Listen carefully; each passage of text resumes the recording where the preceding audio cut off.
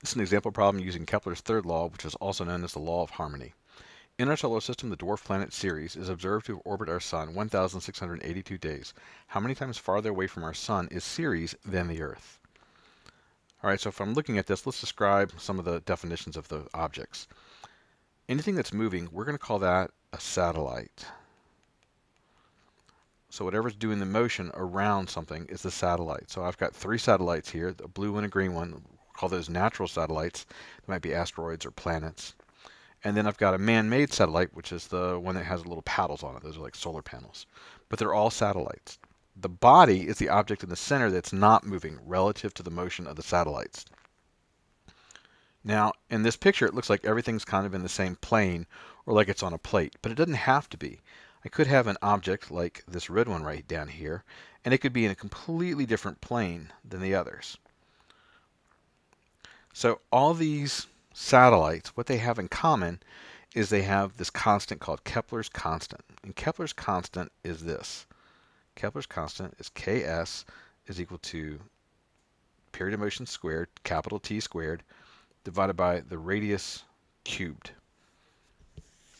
What it means is that my red object, my green object, my blue object, and my man-made satellite, if they, as they orbit this body, if you take their period squared divided by their distance cubed for a closed orbit, it'll give you a number, and that number is the same for all of them. Now, that's for this body. If the body's the Earth, it'll have its number. The Moon has a, a constant that's different, so it's a constant for the Moon. The Earth has a constant for the Earth. The Sun has a constant for the Sun. Mars has a constant for Mars. The asteroids have their constant. So the constant is only constant for the object. It's not universal across space and time. All right, so how do we use this?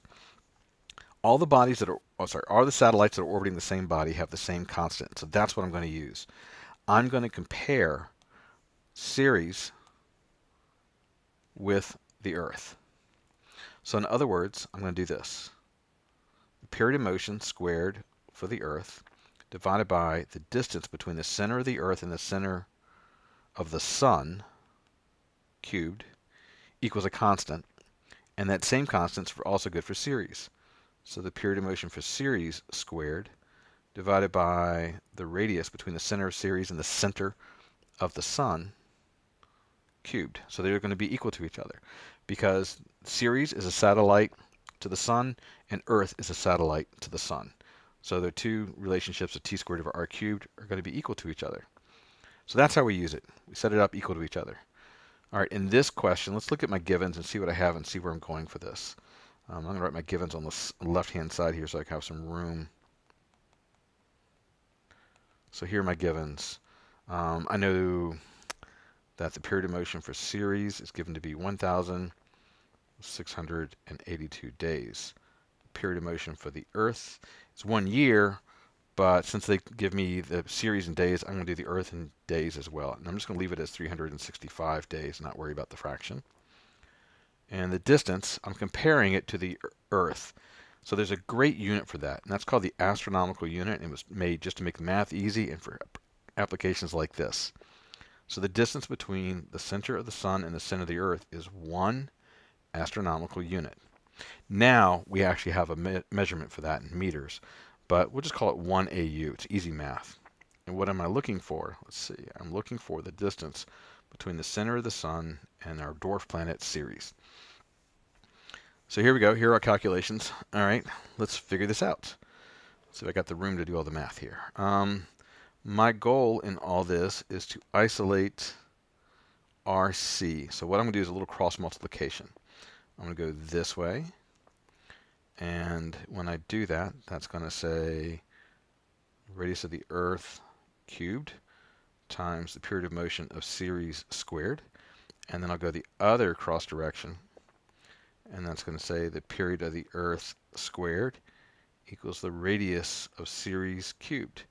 Now when I do this, these two are equal to each other. Okay, so let's keep solving this. So I'll put this down here as radius of the Earth cubed, period of motion of Ceres squared equals period of motion of the Earth squared times radius to Ceres cubed. And I'm looking to isolate the radius to Ceres, the RC to the third.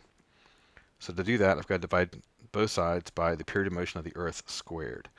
So that means that RC to the third is equal to the radius of the Earth cubed, period of motion of Ceres squared, divided by period of the Earth squared.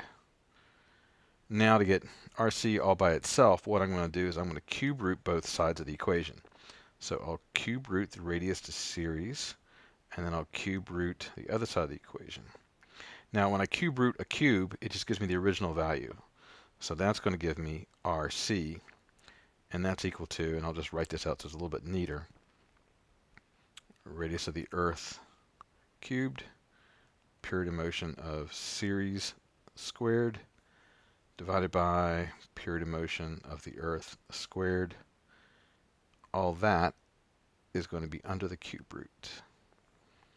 There we go. It's a little pressed for space, but I think you got it. All right, so now I've got RC and I've got an equation using the variables, so I've isolated my unknown. Time to put the numbers in. So let's see. RC is equal to radius of the Earth. Remember, that's going to be 1AU, and that's going to be cubed, so that's easy. 1 cubed is 1. And the period of motion of Ceres squared so that's 1,682 days squared. The denominator is the period of the motion of the Earth, also in days. The key thing about using this law of harmony is you got to make sure that the units are the same. So whatever the units are for the period of motion for the Earth, it's got to be the same for Ceres. And the distance has to be the same as well. All you do is make sure the units match. They don't have to be standard, they just got to match. Okay, so period of motion of the Earth needs to be in days, so 365 days. Don't forget, that's cubed. And all this is cube rooted. So I did that last, so I'd have room to draw it. Cube rooted. All right, so on my calculator, what I'm going to do is I would take the cube root. My calculator screen would actually look something like this. I'll hit the cube root. To hit the cube root on a graphing calculator like a TI-84, 83, I'll hit the key that math, says math. Uh, math is on the left-hand side. It's the third key down the left, and it gives me a catalog, and then I'll type in the number 3, and that'll actually come up as the cube root. So my calculator screen would look something like this. You know, cube root. And then what I'll do is I'll type in 1682, hit the squared key, and cube root will extend out and then divided by 3, 6, 5, hit the square key, and my cube root will extend out. And then when I press enter, it'll give me the answer. And so the answer for this is, uh, with our three, if we do three sig figs, that'd be 2.77 AUs. And that's right that's where Ceres can be found. That happens to be the region where we have the asteroid belt. So Ceres is the biggest object in our asteroid belt.